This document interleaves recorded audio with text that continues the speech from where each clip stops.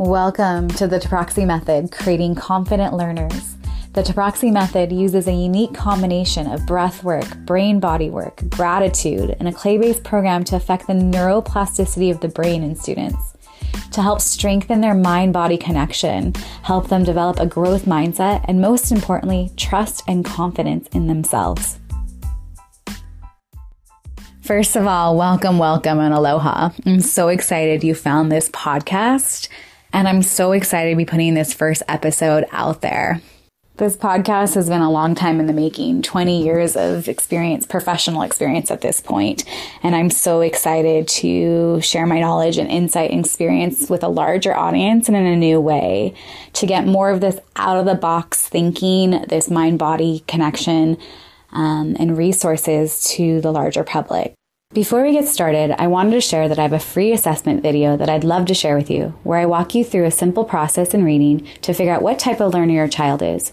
I use this with every student when I first meet them to give me a sense of whether they are more of a visual or phonetic learner. To receive this free gift, sign up for my newsletter at pages.tawnytutors.com forward slash newsletter. As soon as you sign up, you'll receive it in your inbox. So let's get started. I hope that you enjoy and you take something new away from this discussion. I am a firm believer that me as a person, my world, my life experience has made me the educator that I am. A little bit about me just outside of um, the classroom. I'm a world traveler. I'm a yogi. I've been practicing for over 16 years and I also have taught yoga. I was a competitive athlete growing up and I've taught worldwide in California, the Bahamas, Switzerland, Singapore, and now have ended up here on Maui for over a decade. I absolutely love learning new things about health, the mind body connection, and being active and having new experiences. Um, me as an educator, I have taught for over 20 years, over 5,000 students, and I've specialized working with students one on one who struggle in general. But I've taught kindergarten and homeschooled all the way through high school and really taught the gamut, which makes me a little bit more of a unique educator in my experience in and out of the classroom. I typically deal with students who struggle in school with everything from learning differences, dyslexia, anxiety, low self confidence, and distraction in the classroom. As a teacher, I believe in teaching the whole child, um, that no two children are alike. Um, and that you need to tailor your in, tailor instruction to the individual. With that being said, I still use this a very unique combination um, this Toprakci method, this method that teaches the whole child, but also uses the brain body connection and influencing the internal state so that when kids are more embodied, they're able to focus and retain knowledge a lot more, and that we can actually change the synaptic connections in the brain. Um, when we're able to have students who are at ease and calm and confident, it actually allows for their true academic potential to be met and for them to develop a growth mindset to persevere through anything that may be challenging. We can't create confidence in academics just in the realm of academics, but when we get into the mind body connection, um, we can start to have them become more confident in themselves, which then allows for like little academic successes. And then these academic su- successes tend to snowball into their confidence. And then the confidence starts to seep out into other realms. And I've just said for years and years and years that really academics is the ability to create confidence. Once you create confidence in oneself, when a student is trusting and full full of confidence, then they create the ability to learn and achieve. Otherwise, everything else is just not available to them. They're blocking themselves from being able to really retain or learn something new if they believe that they can't. So essentially, I've been teaching for 20 years, but more of these out of box things pulling from the breath work, the brain body work, the neuroplasticity that I'm obsessed with. Really started with two of my students almost uh, 10 years ago. They were a couple of boys who had been out of school for a moment and they were testing at the lowest percentile of the grade level below them. So less than 10% of a year in front of them or below them. So across the board, academics were a struggle. And I needed to try everything and anything of my best teaching practices to get to them. And it was the out of box things, the gratitude, um, the body movement, the getting back into the body, even some of the yoga that really ended up helping them. And then a clay based program that allowed them to orient the symbols of language so that they could start to read and write and do math fluently.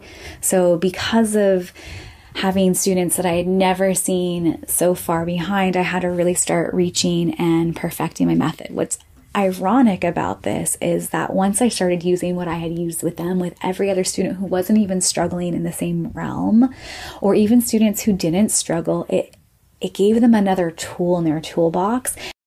So, the best teaching practices that I was using with um, these two boys ended up being the foundation for every other student that I would come across from there on. And, and at this point, I'd already been teaching for over a decade. And just to see kids still struggling in a one on one setting and not having any foundation, not any embodiment, and so forth. So, that's where I started to really become interested in the neuroplasticity of the brain, that the synaptic connections are rapidly growing and developing in our lifetime, but especially for those first 24 years. And we can do things like breath work and gratitude and movement and a mind body um, connection and exercises that actually help the brain fire and wire a little bit better, as Joe Dispenza says. So I became really interested in breath work to increase the connective tissue between the two hemispheres, the corpus callosum, and also just how you can see if the brain was really functioning at a high level and whether they were signaling communicating smoothly. Like when you think of an AP student, really high functioning academic student, they're actually firing on both hemispheres, the right creative and the left analytical, and that connection between the brain is super, super smooth. So I became kind of interested in how we can test what's going on with students and how they're processing, but also how you can affect the brain through learning, through positivity, through gratitude, through breath work, through brain body connection, through balance. That all these things are interconnected. They're not like one and they're not individual pieces. So, and just on a more like practical level, if you look at the, have you ever noticed the body language of a student who is at ease with their learning? They're, they can get really comfortable. They can even like relax to the point of, you know, on a couch and reading and learning versus now picture the body language of a student who's really struggling. They're usually slunched over. Um, you know, body language can tell us a lot, but we can also affect the body too. Straight spine allows the brain to kind of think a little bit better. The academics, whether it's homeschool curriculum or school curriculum or math or reading or whatever, is just the container, right? But we're really looking, I'm more interested in how they're processing, how they're critically thinking, how they're feeling about themselves, how they how their confidence is and how they are going to deal with the challenge or process at hand.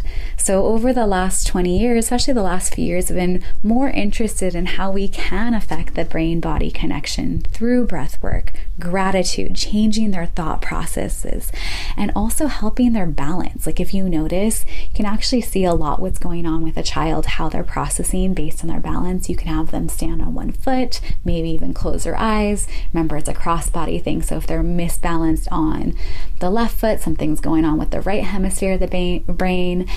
And if they're not able to balance on their right foot, something's going on with that left side, that analytical stuff. It's so interesting. But we can use breath work, gratitude, cross body brain work to help that connection be a little bit smooth so that the hemispheres of processing can be um, smoother, that the, that the hemispheres of the brain are communicating.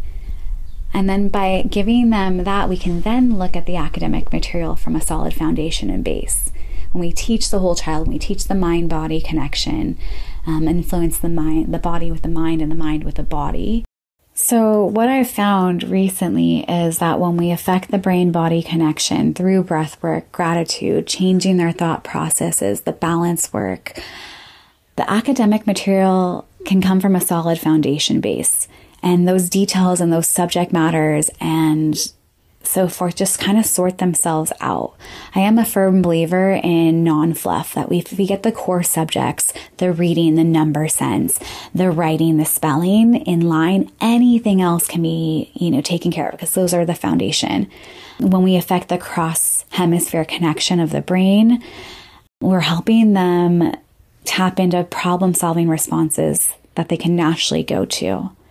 So, this quote is the quote that I go to with every student that I meet. Um, it's the very first thing, it's part of the first conversation, which essentially sums up the way that I believe academics are. Men often become what they believe themselves to be. If I believe I cannot do something, it makes me incapable of doing it. But when I believe I can, then I acquire the ability to do it even if I didn't have in the beginning. This pretty much sums up what I believe in about education. We have the, this is from Mahatma Gandhi, and the part about this quote that is unique is when I believe I can, then I acquire the ability to do it even if I didn't have the beginning. That's the whole basis of academics. If I don't know how yet, if I believe that I'll figure it out, that I'll learn, that I will process this, that I can achieve it, I will. There's, you know, the Henry Ford, if you think you can, you can. If you think you can't, you can't. But this goes a little further. You might not have that ability to begin with, but if you believe that you will, you will figure it out, right? It's anything in life. We're, we're still learning as adults and so forth. One thing that I think I do differently in the education world is that I believe in consistency and high expectations, that creating positive self talk and a confident critical thinker will allow any of the subject matter to unfold as needed, that the tools are there, that the perseverance is there. What I tend to do is I have students come back to the question for themselves How do you learn? How do you make sense of this for you? Right? No one can go in and do the brain work for them. And there are some things that come naturally for some students and easily, and some things that don't, but we have to learn how to figure out for ourselves how it is. So, consistency is kind of what creates that habit, those lasting changes, the embodiment being present in the body. And we always have to have a high expectation, but go at a pace that is sustainable that a student can go. One of my biggest differences as an educator is I believe in discussion and the relationship that's fostered through discussion and is created over time. So I believe in teaching life skills first to affect the brain, the nervous system, the presence of the students, the focus, and then we can do the real work of academics with the right skill set and right tools and right foundation. So I tend to start every session with gratitude and breath work, and I consider this foundational work.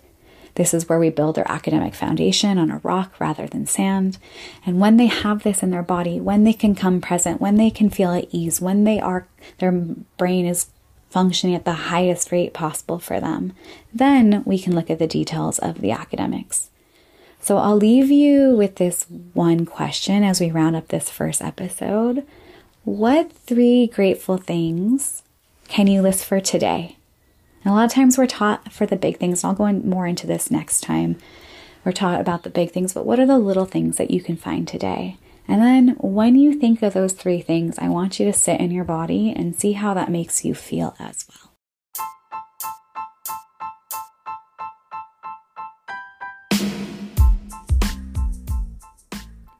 Thanks so much for listening. Before I go, I wanted to share that I have a free assessment video that I'd love to share with you, where I walk you through a simple process in reading to figure out what type of learner your child is.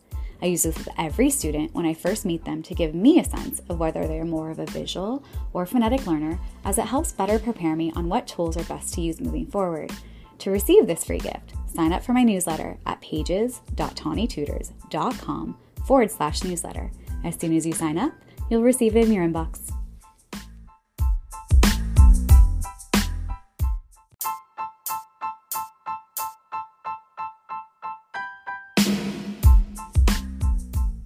If you're interested, follow me on Instagram and Facebook at the Toprakci Method. I also take on a very few select private one on one clients worldwide for homeschool support and tutoring work. Email me at tawny.toprakci at tawnytutors.com. Have a blessed day and aloha.